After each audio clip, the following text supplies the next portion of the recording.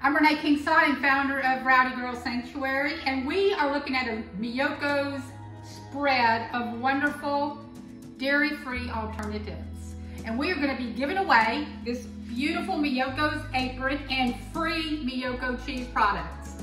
Free, y'all. And so, all right, so number one, look at this.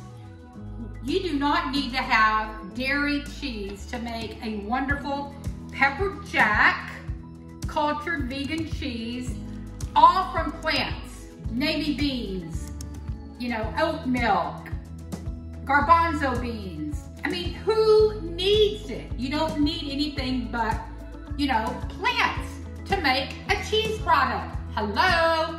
And so, anyway, y'all need to go to miyokos.com, check out their wonderful website, and we are today going to entertain our staff with cheese products, cheese and crackers.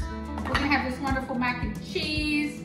They're gonna be able to slather vegan butter all over the place. Peace out from Rowdy Girl. We love y'all. We love Miyoko's. And be sure and get registered for the Rap Summit. It's tomorrow, and we are going to be giving away this apron and free Miyoko's cheese. Oh, and beautiful Miyoko's knives. Peace out, y'all. Love you.